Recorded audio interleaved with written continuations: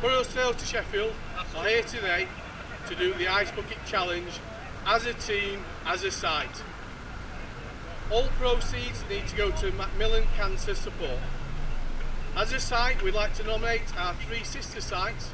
So we'd like Gary Brown at Burrows Fiat, uh, David Devine at our new Burrows Mazda site, and John Cowell at Burrows Hyundai on Penistone Road to do the Ice Bucket Challenge in the next 24 hours.